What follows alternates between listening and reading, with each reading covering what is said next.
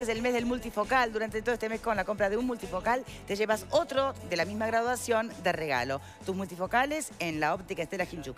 Cuatro locales en Montevideo y uno que tiene abierto en Punta del Este todo el año. Ay, queda tan poco tiempo y tanto para decir.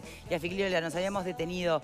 Eh, te prometí continuar con el concepto en este bloque. quería hacer referencia este, al tema del equipo interdisciplinario. Primero, recordemos que este fue el elemento que consiguió el voto 50 en la Cámara de Diputados. Este elemento lo metió Iván Posada, Partido Independiente, y el Frente Amplio se lo acompañó, se lo adornó, porque era el voto 50 que necesitaba, si no, no llegaba. Recordemos que la ley salió por un voto en Cámara de Diputados. y que en definitiva es lo que no se ha cumplido, es lo que querés plantear. Es el tema que se puso arriba de la mesa como un equipo, según el razonamiento que hacía en aquel momento Iván Posada, para que eh, le diera todos los elementos a la mamá antes de tomar la decisión. Perfecto, sí. Hoy, en la, práctica, eso no está sucediendo.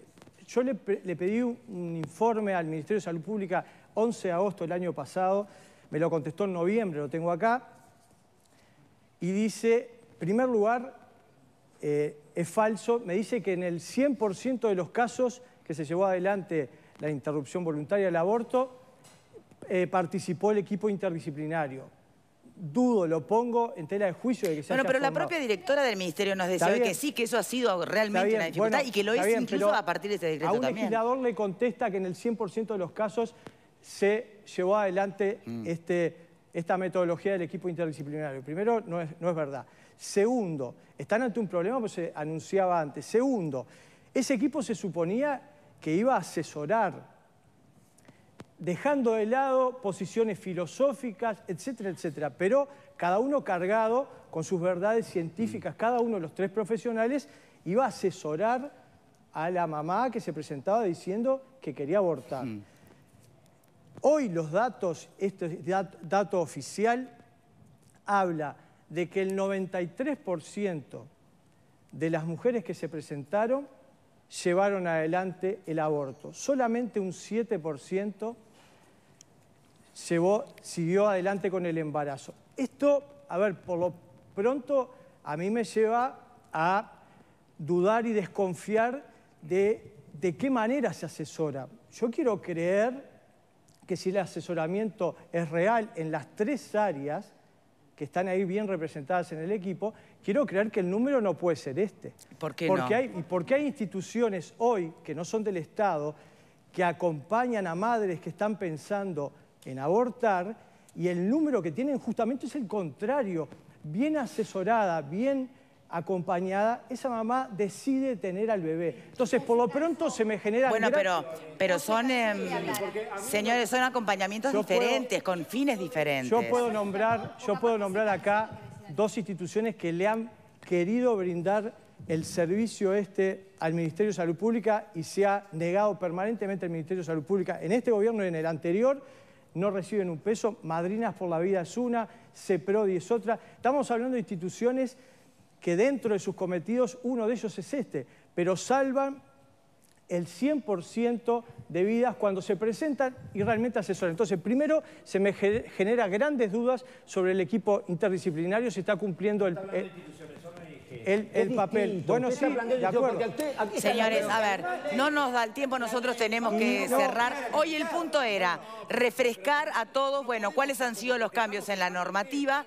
Lo que queda en evidencia es que por más cambios en la normativa, la realidad sigue presentando desafíos extremadamente complejos como para que efectivamente se termine... Eh, em, cumpliendo con el respeto a los derechos de cada uno de los protagonistas en esto. Una reflexión final de la abogada. En realidad quiero resaltar dos grandes cosas. Primero que no olvidarnos no solamente de cuando la persona, la, mujer toma la decisión, este, no solo por el, por el acto en sí que está cometiendo en ese momento, sino también por el post. O sea, lo que pasa después y cómo psicológicamente le juega eso. Cómo puede quedar esa... Eh, me pongo en el papel, me salgo del papel de abogada, me pongo en el papel de mujer psicológicamente, cómo te puede afectar este, a ti el, por las, apuradas y haber tomado una decisión quizás no del todo...